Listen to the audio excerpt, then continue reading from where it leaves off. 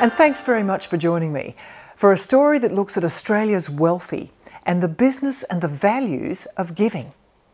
Just this year, a number of wealthy Australian business people have made big multi million dollar donations to education, science, and so on. But despite this, we still lag well behind our overseas counterparts, like, say, Britain and Canada, who pride themselves on their generous philanthropy. So, in this program, we look at who is giving in Australia and why. Thank you. Have a good day. Hi. Thank you. Have a good day. When it comes to pitching in for charity, the average Aussie is among the most generous in the world. Thank you. Have a good day. Out of 153 countries, we're near the top of the list in giving time and money.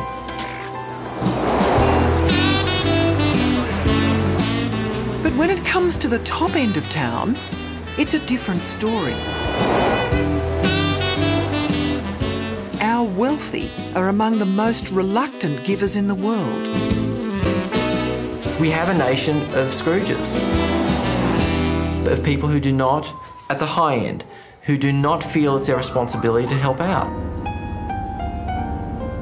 Australia is the lucky country. Some of us are much luckier than others. It's estimated as many as 15,000 Australians have a net worth of over $20 million. Daniel Petre is one of them. But unlike most of his rich colleagues, this father of three gives generously to medical research, health, and education. Carolyn and I founded the Petre Foundation back in 2001. Uh, we've allocated more than 35% of our net wealth to philanthropy, which puts us, and I, I don't like trying to be a hero on, on it, so it, it bothers me a little bit, but I think in the Australian context, we would be probably one of the most philanthropic families in the country. Now, I, I don't say that in any way to have some brass band because I'm a little sad, quite honestly, because there are people who've got a lot more than us that could give a lot more than that.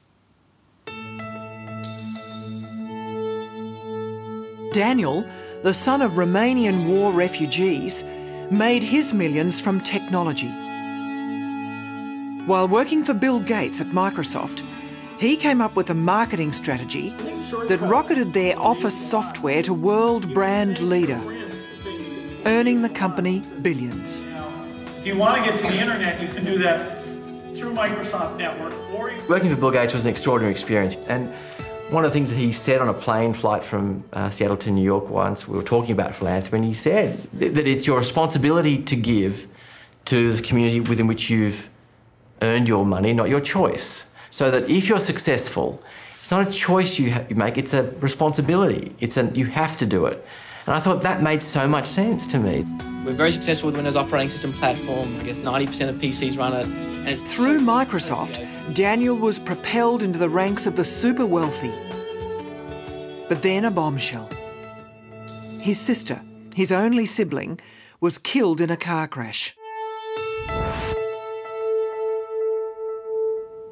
After the grief subsided, he took stock of his life. It made me think about, well, what would we put on my tombstone if I dropped off the twig? And what had occurred to me is that pretty much it would say, uh, you know, Vice President of Microsoft, hopefully soon to be Senior Vice President of Microsoft. And that was pretty much it. And I thought at that moment, that wasn't enough. That I wanted to say that I was a, a really good father, I was a good partner, I was a, a good and contributing member of the community. Thanks, Rab. Now I got a- Daniel was true to his vision. In 2000, he returned to Australia, spent more time with his family, and working mostly nine to five, kept kicking business goals. The internet is, is a, a cavalcade of opportunities for content and content services.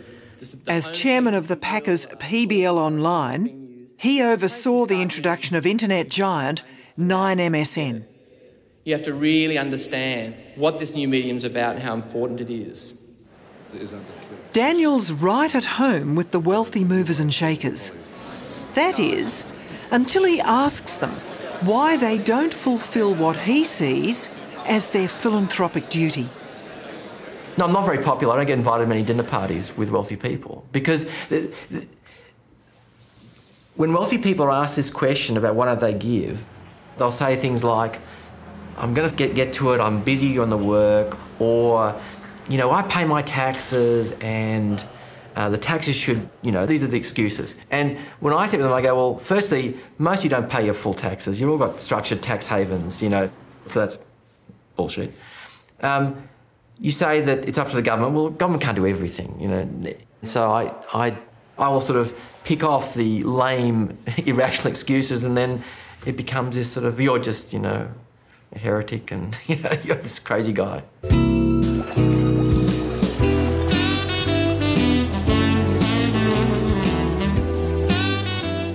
If many wealthy Australians have dropped the philanthropic ball, there are still some among the super rich, like Greg Poche, who take giving very seriously. Um, I wanted to do some things, uh, having been successful in business. In 1974, Greg Poche launched what would become one of Australia's biggest freight express companies. To get there, he took on and beat the price-fixing transport cartels of Mayne Nickless and TNT. We've never seen such blatant defiance of the law and massive ripping off of Australian customers as has happened in this cartel. In 2003, Greg sold his company for three quarters of a billion dollars. From small beginnings, Greg ended up at number 31 on Australia's richest 200 list. But it was his huge gift, establishing a purpose built melanoma unit, that put him at the forefront of philanthropy. It was a $32 million gift deserving of a standing ovation. The low profile donor, Greg Poche, clearly overcome by the recognition. I hope your example is noted by the Packers, the Lowies, and the Pratts of this world because you have set a new standard for generosity in this country. Greg's $32 million was one of the largest single purpose bequests by a living Australian. There's a terrific opportunity for entrepreneurs to uh, invest in this area, to sponsor. There's a story behind every headline, and Greg Poche's is no exception. Hard to cut, but the taste is fantastic. Hard to cut. Greg's story started with his old mate Reg Richardson, a retired property developer. We've been friends now for 40 years. 40 years, yeah. So we're both fired by the same company. Um, Which gave us a terrific bond. yeah, that's right. Which we're very proud of, by the way. and Reg has a lot of rich friends who he shamelessly uses to raise money for charity. I know a lot of people because I've been around for a long time, and uh, I sort of suss them out. They wouldn't know that. Uh, I'm good humoured. You have to make them like you a little, otherwise, I'll never give you a cent. Uh, and I just have a crack. I think Reg is a very dedicated um, fundraiser for really good causes. And uh, he, he certainly got me on board, and I'm so glad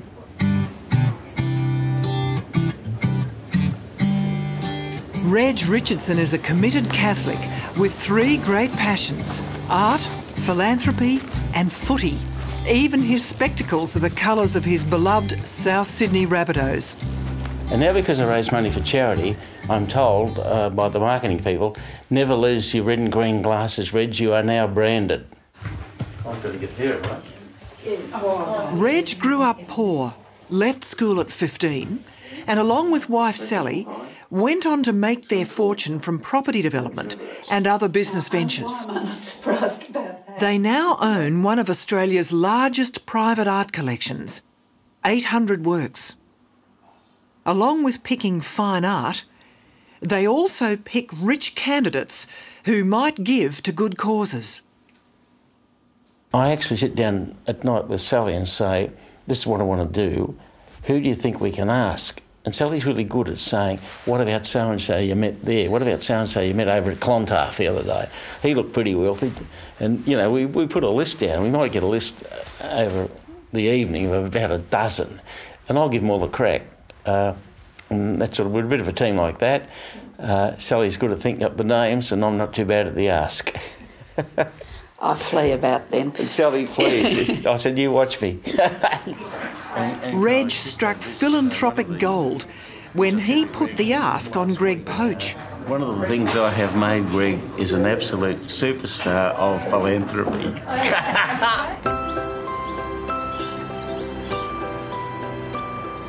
Reg's big asks have enabled him to source over 400 works of art for St Vincent's Public Hospital.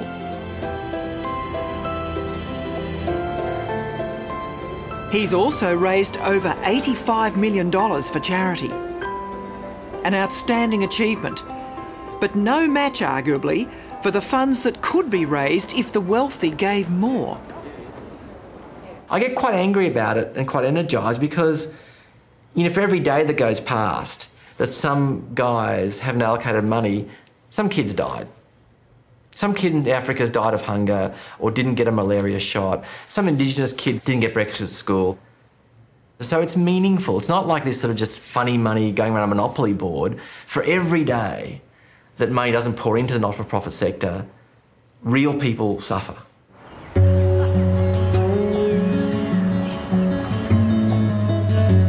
A scholarship program underway at Sydney University's medical school is an example of philanthropy working for the public good. Uh, Smoke Free Mommy Tummy was an education and support program on the arms and small. These students are working health professionals who've been selected from their mostly rural communities to do a one-year graduate diploma in Indigenous health. I came up with the health priority issue, so and I went for smoking and pregnancy. The students are about to have a surprise visit from a private donor who's put up $10 million for research and development into Indigenous health. And that donor is?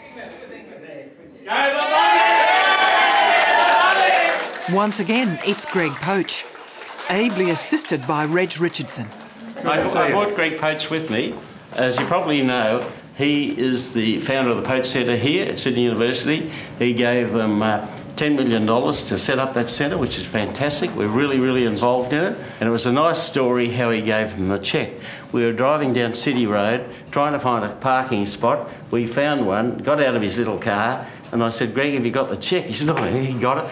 And then uh, he said, oh, I haven't drawn it yet. So he, he wrote, uh, Sydney University, $10 million, and then a big gust of wind came up and blew it. He was doing it, blew it down the road. And Greg and I, two 70 year olds, are running down City Road chasing this cheque for, cheque for $10 million.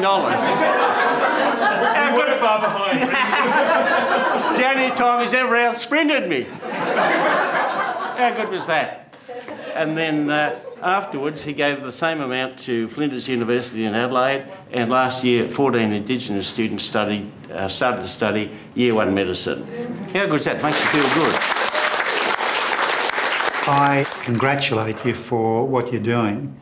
Well, 40 of you can make a huge difference, and I take my hat off to you, even though I don't have a hat.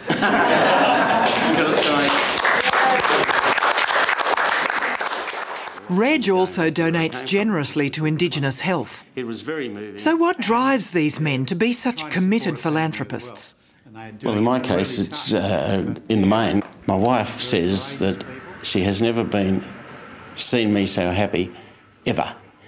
Uh, and in the words of the Harry Chapin song, her words, not mine, you finally like yourself. And I thought it's a pretty nice and touching thing to say. I just want to want these programs to roll ahead and for some some good things to come out of them. Uh, that's that's enough for me. And I think um, just people like yourself that do, you know, donating money to the courses, you know, for us to study too. It's just the, it's just wonderful. Well, it's great that it's great that there's such a such an effort being made by by students. A young man came up and spoke to both of us, and he said, "Why are you two guys doing uh, what you're doing for my people?" And I said, "Because if we were your people, if we, Greg and I were Indigenous, we'd be dead." That's why we're doing it, because it's unfair, unjust, and it shouldn't happen. He said, Thank you, brother. It's pretty nice, isn't it? How are we going to address um, the, the smoking? If we do nothing, There are always going to be gaps between what charities can do and governments can do. And yet there are all these needs, whether it's Indigenous education or cancer research or dire hunger in Africa. If it's not us, the, the wealthier ones, who? Who does it? If we, if we, the wealthy of the world, step back and go, nah, not us. Nah, can't be bothered. Who does it? Nobody does it. And so kids die, cancer doesn't get solved. Um, even, you know, galleries don't get filled with art. Whatever it is, whatever your thing is, doesn't happen. And so I, I, I get quite agitated about the sense that there are these wealthy people with piles of money where some of that money is not helping their life at all. So it's not like I'm asking them to change their life and go from driving a Lamborghini to driving, you know, an old 1963 Corolla. No, they can keep the Lamborghini. It's not affecting your life. Just give some of it away to a cause you care about. Not don't give it to my causes. You find one, and they still reject that that concept. Yes, no, I wanted to talk to you about the documentary I'm a Girl. Yes, it's, it's Deanne Weir, a lawyer, is an oasis in the Australian philanthropic desert. That very happy with it. Um, no, we're hoping for some She got an unexpected windfall in 2010 when Foxtel bought out Austar, the company she was working for. Deanne and her husband immediately invested some of her cashed out shares in a philanthropic foundation. Well, look, we contributed two and a half million dollars into to set up the foundation, um, and uh, we've yes, in year one we've um, donated I think um, over three hundred thousand of that, and um, we'll probably do some more before the year's out. Deanne's foundation supports the arts and education with a special focus on women's causes. So, Deanne, this is the Women and Girls Emergency Centre. This is the Part of her $300,000 worth of donations went to this Sydney refuge. Great. You come through. Yes. Hello, Deanne. How are you? Great Nice to meet you. Deanne Weir, Helen. Today she's visiting for the first time to see how her money is being spent. This is Hi, Virginia. I'm This is Deanne. Great to meet you. This is Christy. Nice to meet you. Great. 47 year old single mother Virginia came to the refuge after sleeping in a friend's car for 18 months. Do you mind? Do you mind if I ask your, in terms of your circumstances, was it um, losing a job that that? Um, I've had chronic pain, migraines for like 25 years. Right. And bringing up my son by myself and creating my own businesses while all of that was going on. Yeah. And then I, unfortunately, I met and got into a very bad situation. And now I'm not coping like I once was. Yes. It's very humbling. Here is clearly a very intelligent, articulate, lovely woman who could be your sister or your cousin, um, the lady down the street, who has faced these issues, um, you know, due to circumstance and, and illness. And as a community, there's got to be an answer to that, the, and, and it has to be an answer beyond her sleeping in a friend's car. Nice staff, lucky to have the staff. Mm. Deanne recognises her role is not to work in the refuge, but use her wealth to help keep it going. She sees philanthropy as an investment with genuine returns. Aid targeted at women and girls is almost twice as impactful as aid targeted more generally um, because you know women essentially end up spending around 90% of their income on their family and their community because it's more inherent in in what they do.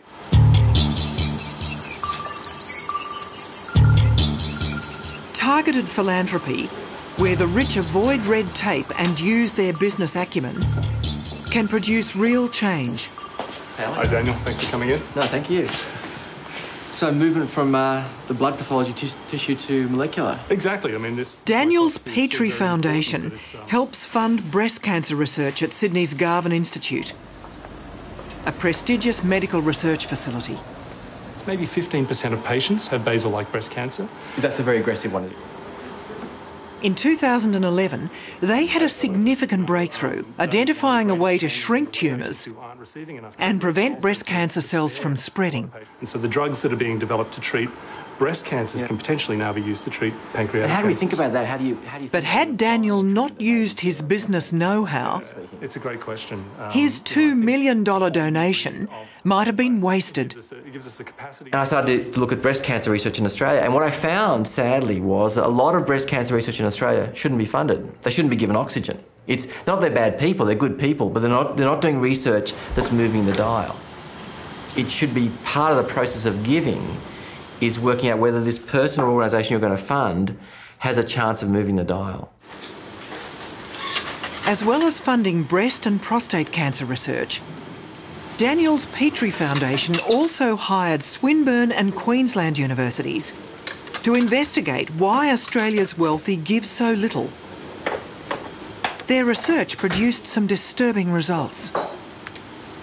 I was horrified and shocked to find no, there was no one gave, very few people gave money. If you look at the top list of our top philanthropists from Philanthropy Australia, they're all dead guys. They're all people with estates, either corporate estates or dead people estates. Not our, not our living. It was, it was terrible. Daniel points out that while other Western wealthy pay what he sees as their dues, donating around 10% of their net wealth, well heeled Australians average less than 2%. It's beyond greed. It's beyond greed. It, it shows a completely corrupt value system.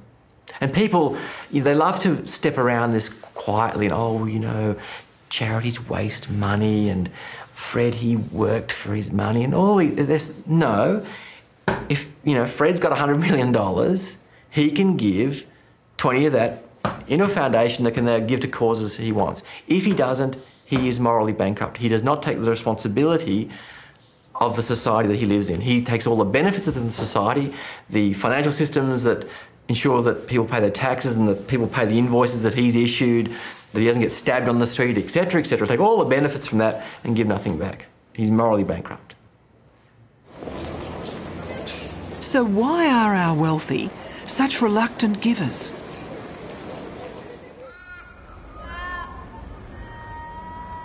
It's said there are two certainties in life death and taxes. But for wealthy Australians, there is a loophole. In Britain, if you die rich, you pay tax on your wealth, unless you've bequeathed some of it to a charity. If you've given some of it away before you die, you can also avoid punitive death taxes. It's similar in the USA, but Australia abolished death duties over 30 years ago, and Daniel Petre believes that puts philanthropy off our agenda. Having death taxes changes the culture. And we don't have that here. We don't have estate taxes, which sort of force you to do the practical uh, decision of, well, give it away before the government takes it. And there's no social pressure on, on you to give.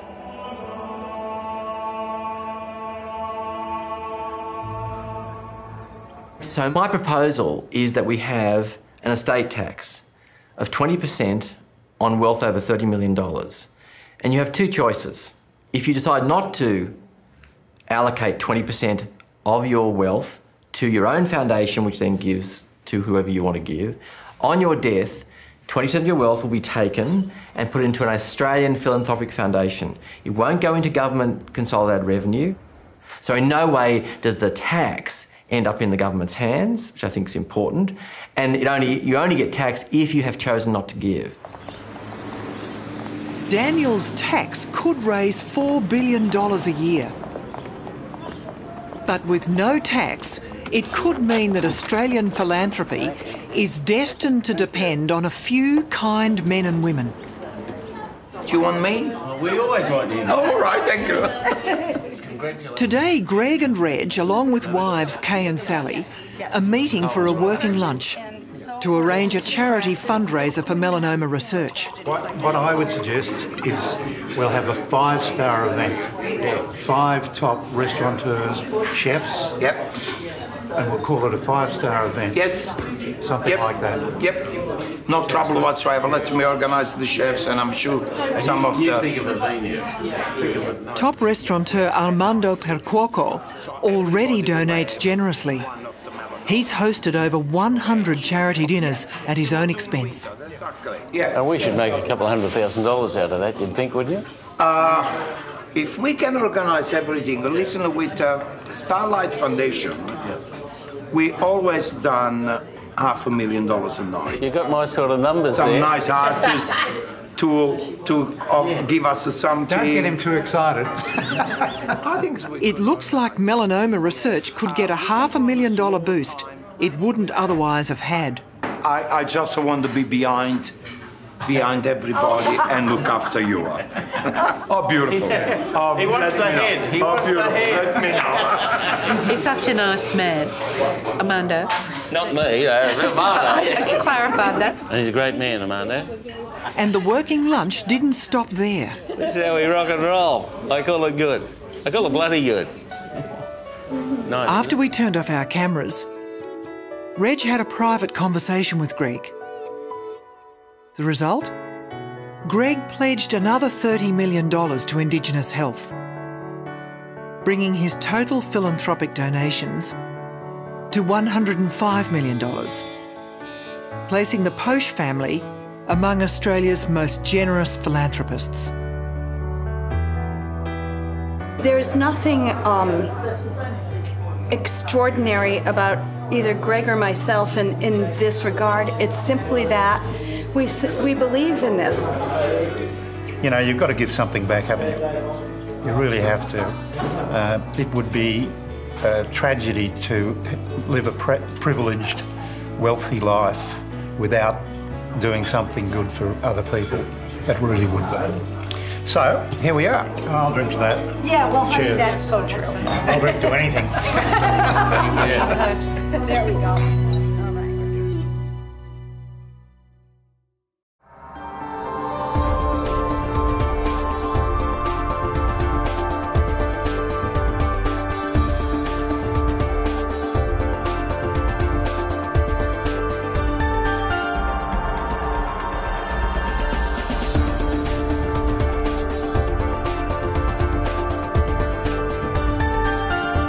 Next on Compass, Is everyone ready?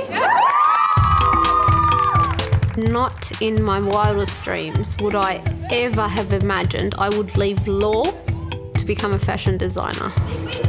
a new breed of young fashion designers is turning heads on the Australian catwalk. I'm a Muslim woman and I like to dress very um, fashionably. They're making their mark with cutting edge designs that appeal to the fashion conscious. You don't need to expose everything to be beautiful. Fashion and faith, Muslim style. That's next week on Compass. I'll see you then.